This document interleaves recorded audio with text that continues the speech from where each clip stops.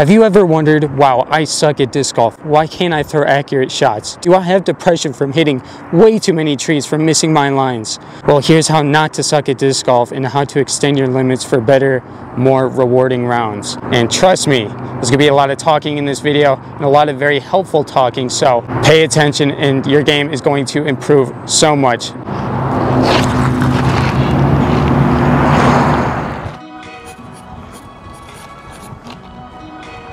All right, as you've seen from the intro, that was a very epic intro and probably the best intro I will ever do. gonna be a lot of talking and a lot of information, so get ready. If you want to get better at disc golf and you've been on this plateau of being very insanely good disc golfer, but you've been stuck, there's a problem you want to figure that problem out, this is the video for you. Today we're going to be working over what you need to do to get to that next level of disc golf, like where the pros are right now at Worlds. Worlds is actually today. I know who the winner is. It is Isaac Robinson.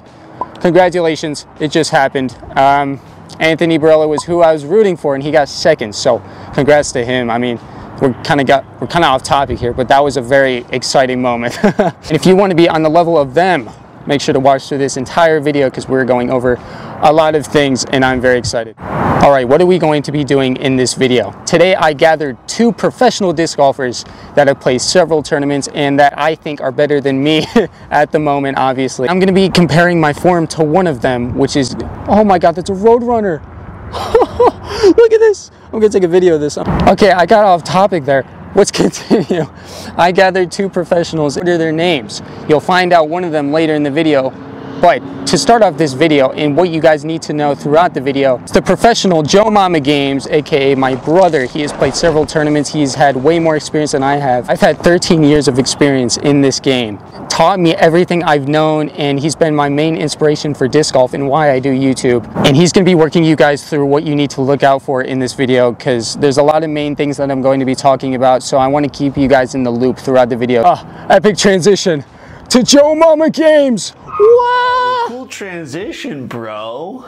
Literally. I am Disc Golf Aiden's little brother. Obviously, the little brother. He is much older. And I guess you could say, I disc golf a little bit. I guess you could say, I disc golf a little bit. I guess you could say, I disc golf a little bit.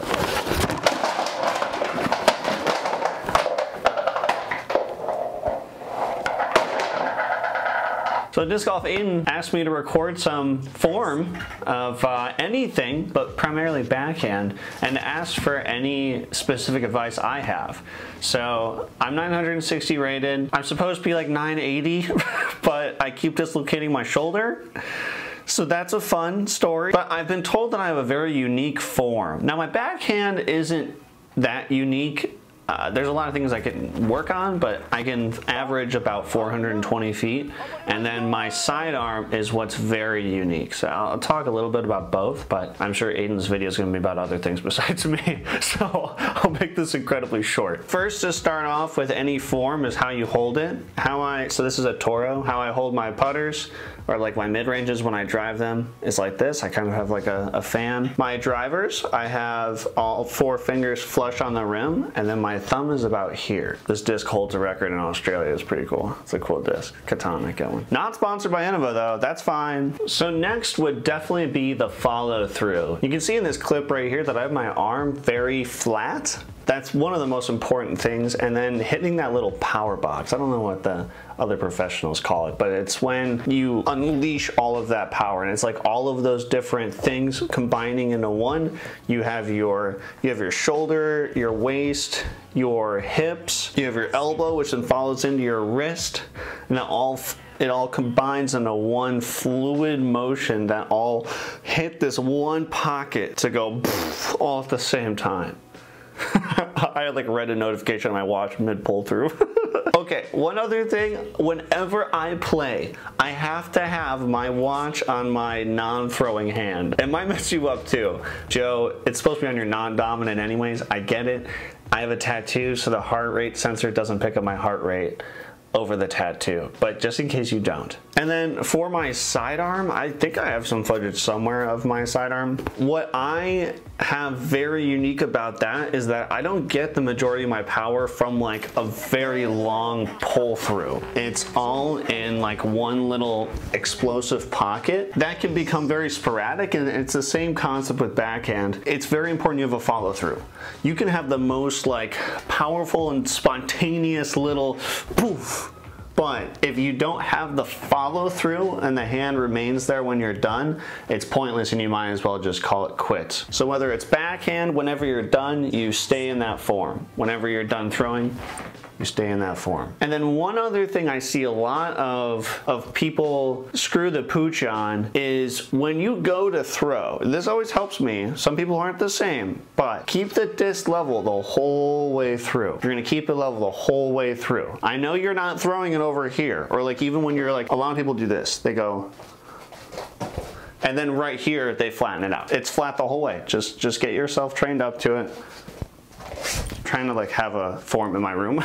it's really difficult. Same with sidearm. If you just have it flat the whole time, the whole time, it'll get you even that more ready to have a clean follow through. Besides that, this is Aiden's video, so I'm not gonna talk anymore. Thanks for having me on your channel. This has been fun, very, very fun. And uh, hopefully I'll see you goons later. Bye. What does Aiden call his subscribers? His children? No, he's too young to have children. His mentees? his little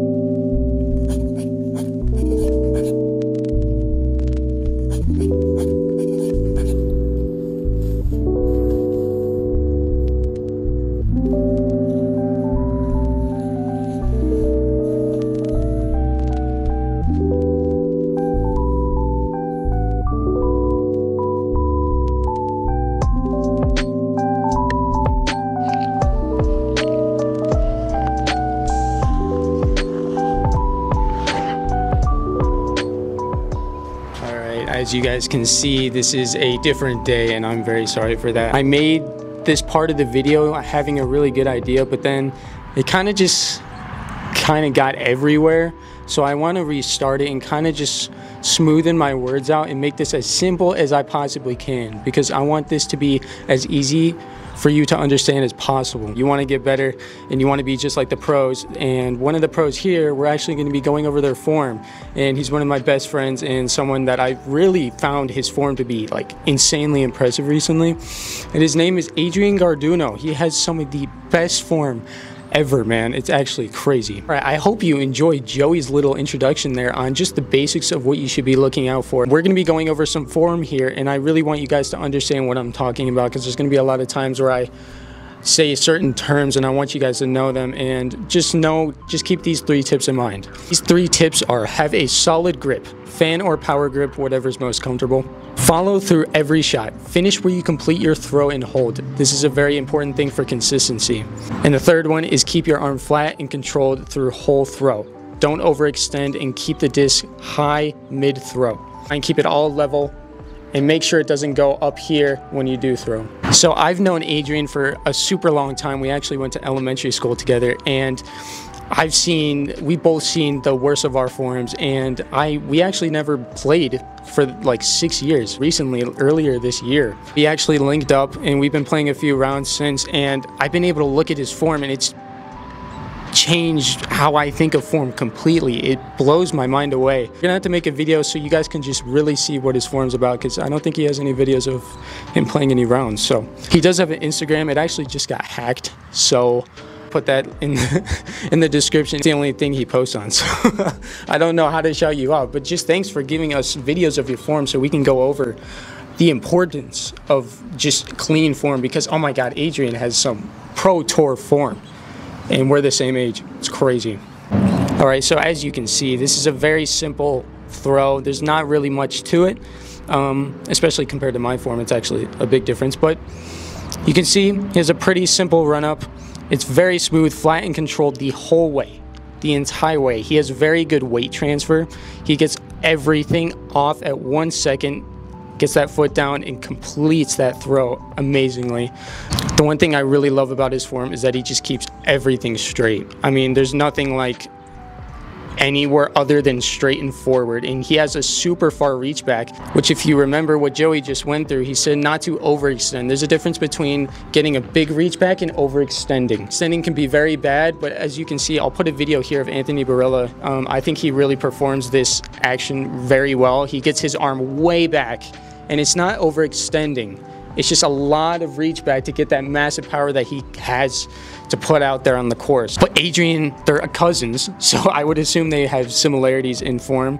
Um, and I find a lot of his form to be very similar to Anthony's, except his is just smooth and controlled. He has a very slow run up in a way, and it doesn't look like he's gonna rip it like 500 feet, but trust me, he could probably I know he can rip 500 feet with this form. It's actually crazy because we played at a course called Emerald recently. It was bombing, man. It surprised me how far his throws were going with his form because eh, it was crazy. This is the first time I've seen him bomb throws like this since we were like 10.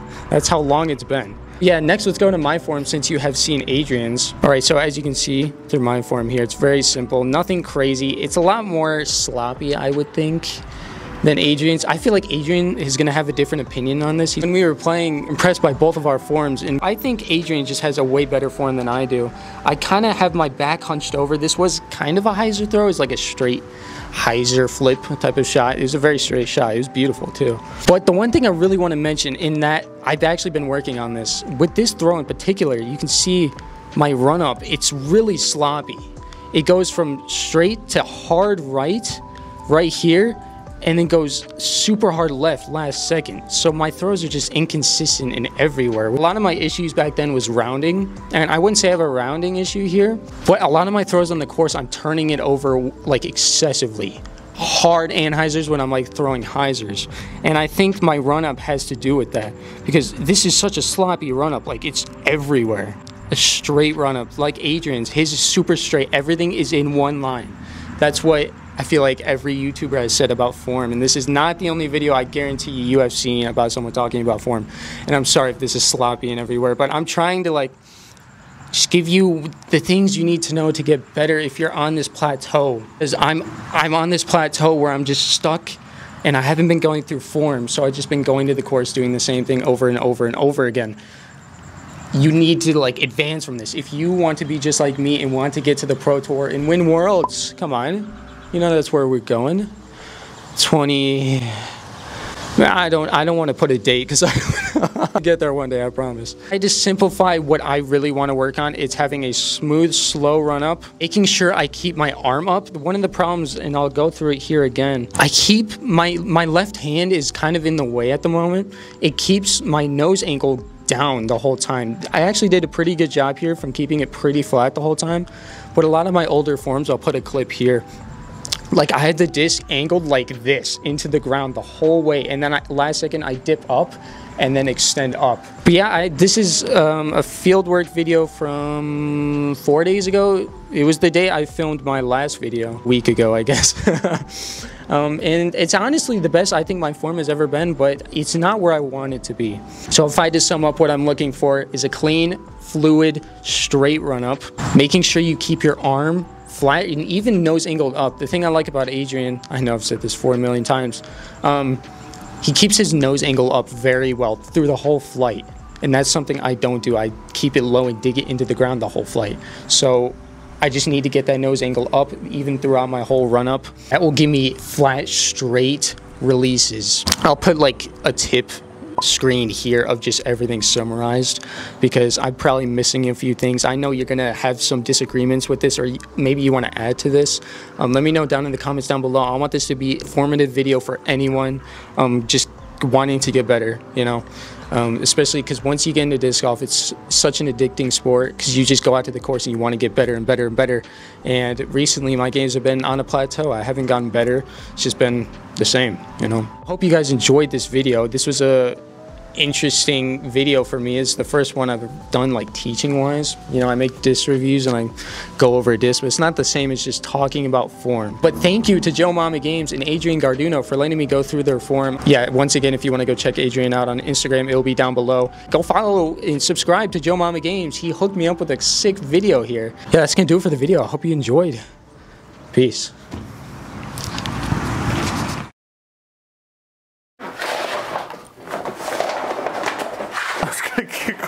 Out of the way.